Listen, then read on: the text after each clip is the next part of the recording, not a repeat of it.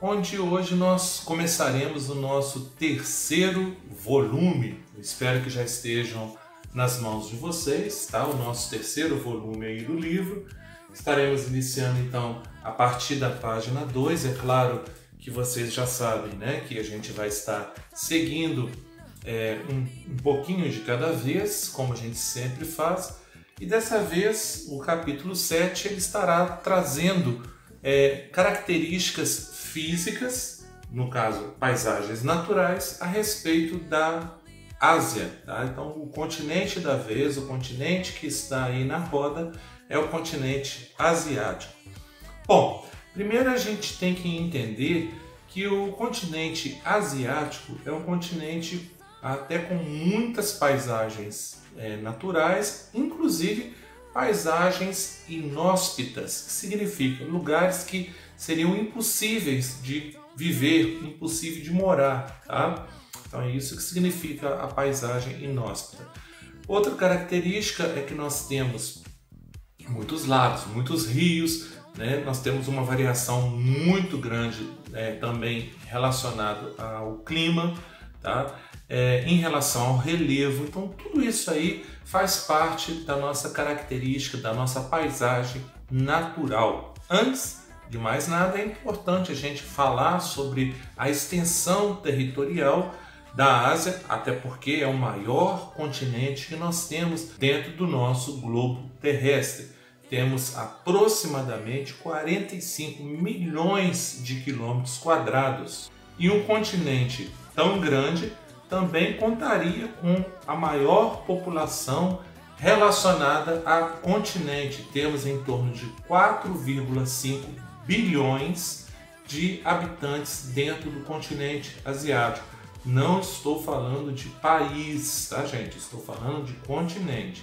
Então a gente terá dentro é, do continente asiático, países que terão muitos habitantes, como a China, como a Índia, e teremos também países que terão menos habitantes.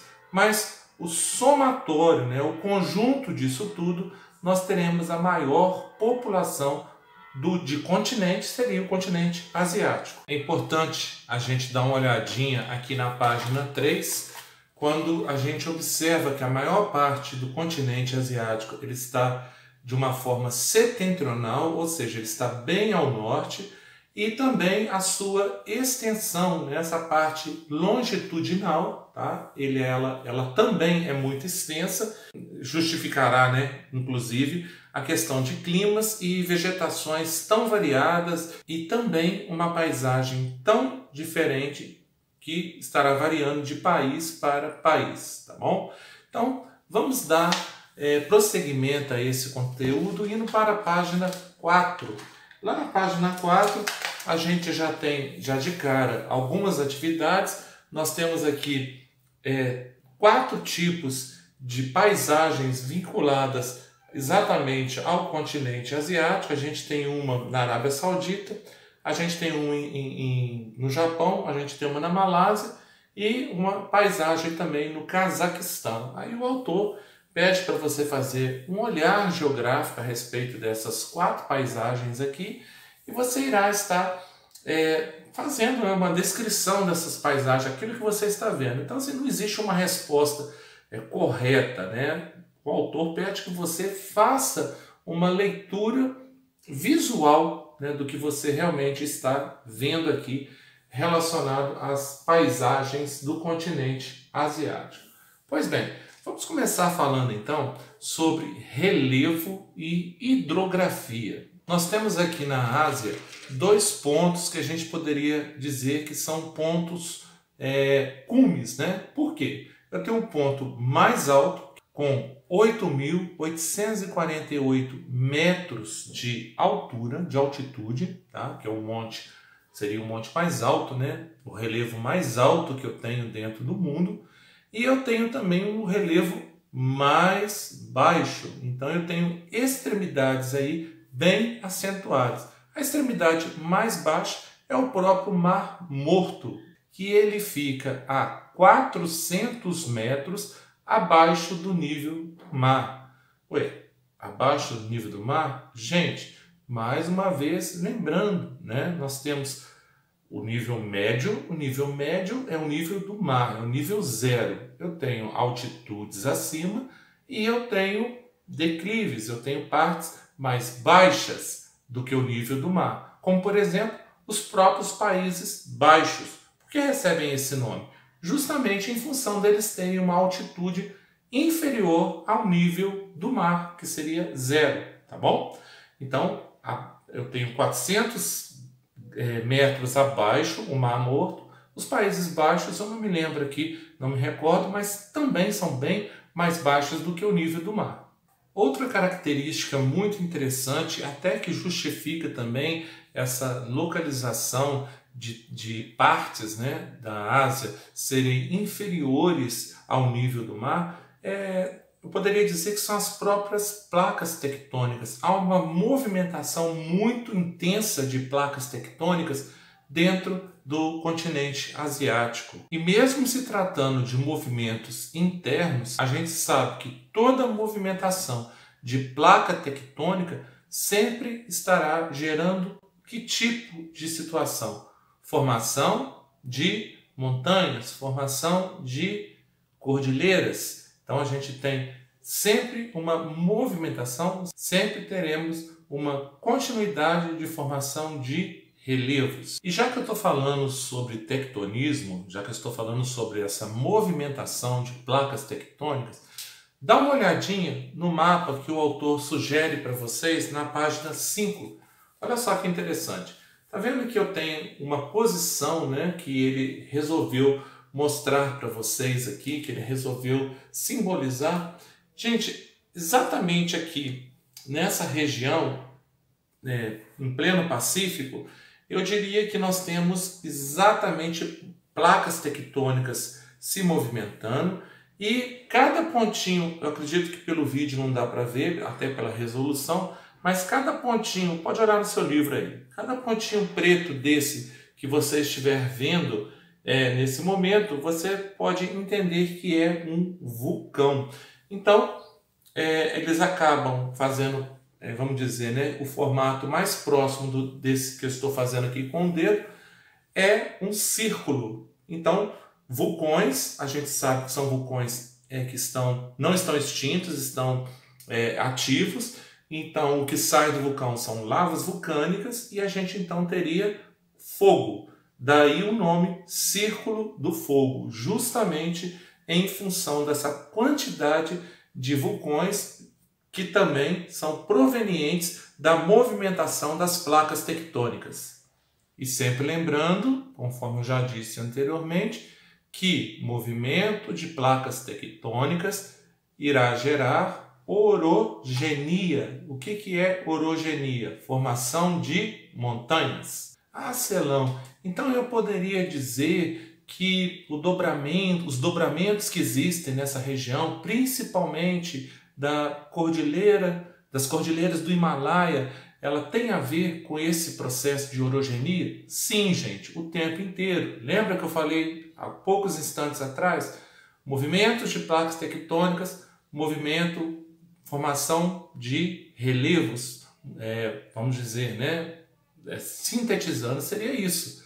Tá? Todo relevo, a gente já não aprendeu que é, são saliências que ocorrem no solo o relevo não é proveniente disso, aí eu posso ter tanto relevos né, no sentido de é, é, partes altas, como eu posso ter também depressões, como eu posso ter planícies. Tá? Então, tudo isso aí está vinculado ao relevo. E já que eu falei sobre planícies, é importante a gente lembrar que nós temos nessa região aí uma planície formada especificamente por sedimentação provocada pelo rio Ganges. Esse rio ele é totalmente sagrado para os hindus, mas eu tenho uma concentração ainda maior de sedimentação através do rio Brahmaputra, que a gente dá o nome de planície aluvial. Eu convido-os, a, inclusive, a estarem olhando o mapa também da página 6, tá?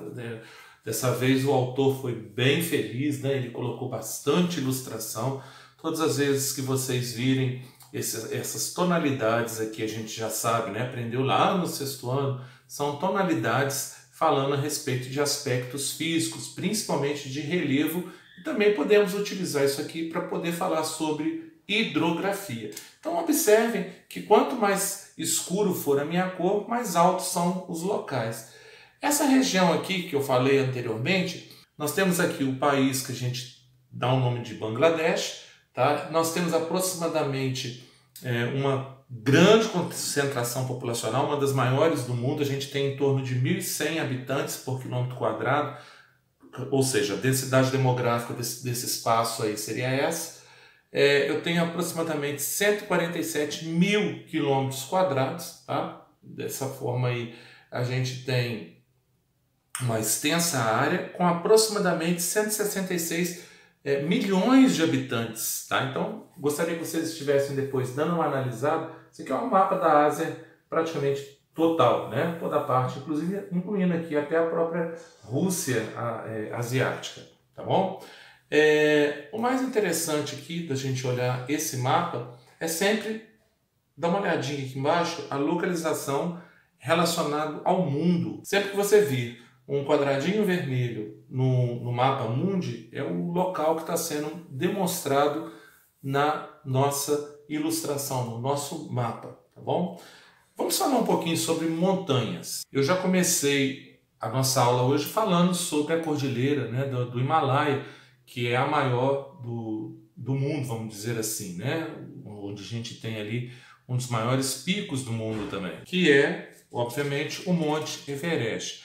Então, só para a gente ter uma identificação, né? Um, um, vamos, fazer um GPS aqui de localização dentro desse espaço asiático. Gente, é, faz divisão aí com essas cordilheiras do Himalaia, a China, a Índia e também o Paquistão. Então, esses três países fazem fronteiras com esse monte, né, com essas cadeias de montanhas do Himalaia. Aí. Professor, apesar de ser muito alta, é, a gente poderia falar que o Everest ou que a Cordilheira do Himalaia são formações antigas, rochosas antigas? Não, claro que não, né, gente? Se nós estamos trabalhando com grandes altitudes, a gente sempre estará trabalhando com rochas recentes, de formação recente. Por que, que isso ocorre? Porque, conforme eu já disse e repito quantas vezes forem necessárias, o tempo todo essa movimentação de placas tectônicas está em processo de formação de relevo. Então, essas rochas são consideradas rochas recentes, relevos de formação recente. E quando é que eu identifico formações rochosas antigas? Lembra lá dos agentes naturais? O que são eles? A chuva, o vento, a neve, dependendo da localização, tá? É, as próprias ações antrópicas Lembra o que são ações antrópicas? Não é o homem, é, no caso ali, modificando toda a forma natural que já, já existia? Então, gente, é, toda rocha antiga normalmente ela é mais arredondada porque ela já foi desgastada, ela ainda apareceu lá na era pré-cambriana. Então, assim, normalmente a gente tem é, rochas mais baixas, relevos mais baixos e mais desgastados, até mesmo com é, com agulhas, né? O que, que são agulhas? O vento vai batendo, vai desgastando e forma realmente como se fosse um buraco de agulha. Isso é muito comum, inclusive aqui na Ásia. Mas eu tenho a maior parte da minha formação nessa área que nós estamos trabalhando. Inclusive, gente, aqui também faz parte. É, a gente poderia falar sobre o Nepal e sobre o Butão também, tá? Então, essa região aqui, ela também compreende esses dois paizinhos pequenos, mas muito importantes aqui dentro dessa cordilheira do Himalaia. Em relação aos planaltos, eu tenho muitos planaltos interessantes nessa paisagem asiática aí, dentro desse contexto, é, mas eu gostaria de estar dando destaque para alguns. Eu tenho do Tibete, né, principalmente ali né, ao sul da China. Eu tenho também o do Pamir, que faz fronteira com o Tajiquistão, com a, o Paquistão e também com o Afeganistão. Inclusive, gente, o Planalto do Pamir ele é conhecido como telhado do mundo. Ele recebe esse nome por abrigar elevações com mais de 6 mil metros de altitude. Interessante agora quando eu falo sobre planícies dentro dessa região aí da, do continente asiático, são é, planícies que inclusive tem até toda uma história montada em cima dessas planícies já de tempos muito, muito, muito, muito remotos, tá? É, no caso aí, eu tenho a questão da planície da Mesopotâmia. Lembra da Mesopotâmia? Aonde criou-se ali né, uma região entre rios, entre o rio Tigre e o rio Eufrates. Atualmente essa região é o país chamado Iraque. Outra situação também aí devido ao rio é a planície indo-gangética, né, devido ao rio Ganges ali na Índia. Mais planície agora na China, né, formada ali o Huanghe, é o rio amarelo. Eu tenho também a planície do rio Azul, também conhecido como Yangtze, né, que é o nome do que corresponde ao rio Azul ambos aí no leste da China. Então, gente, já deu para perceber que é uma região com muitos rios, é uma região com muita hidrografia, né? Então, assim, praticamente eles utilizam isso de todas as formas, seja através de hidrovias para fazer escoamento de produção dentro das suas empresas, né? dentro das suas indústrias, seja também para é, mover usinas é, importantes que nós temos dentro dessa região, ou seja, a parte hidrográfica é uma parte muito rica em relação a essa região asiática, a esse continente asiático. Bom, gente, é, tendo em vista então que nós vimos grande parte aí do conteúdo sobre relevo e hidrografia é, do continente asiático, nós vamos ficando com a nossa aula por aqui, tá?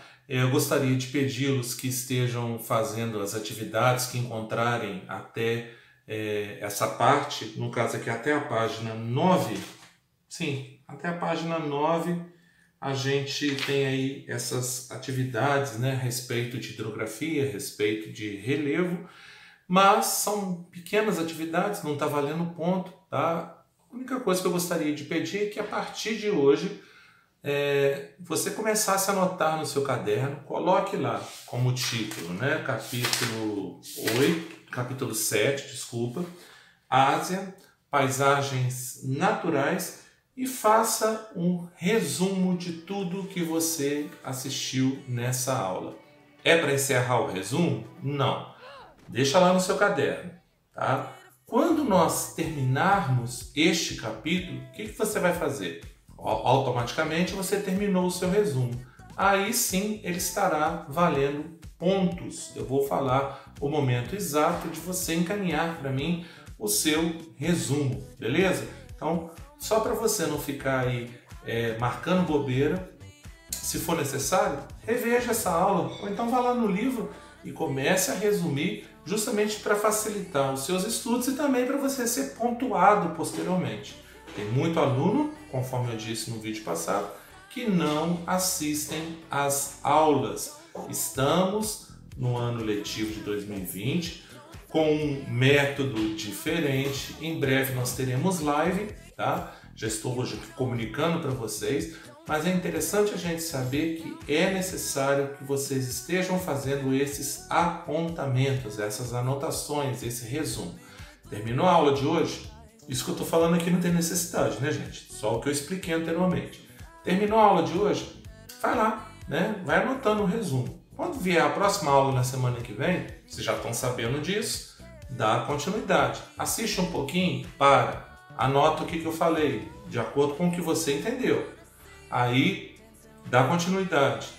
Entendeu mais um pouquinho? Para o vídeo, anota mais um pouquinho. E assim a gente vai construindo aí um material muito bom, um material que será valorizado. Não sei ainda quantos pontos eu irei dar, é, pelo que eu entendi aqui, gente, esse bimestre nós teremos o estudo de três capítulos, tá? Então nós vamos dividir aí em torno de dois capítulos valendo três, o resumo, né, ao final de cada um, e um capítulo valendo quatro. Eu só vou, vou é, verei depois, né, qual que vai valer quatro, qual que vai valer três. A gente dá uma olhadinha, ou dois valendo três e meio e um valendo três. Fica ao meu critério, vocês vão ficar sabendo quando estiverem lendo lá o Google Sala de Aula. Bom, gente, fica com Deus, um grande abraço. Espero vocês na nossa próxima videoaula. Tchau!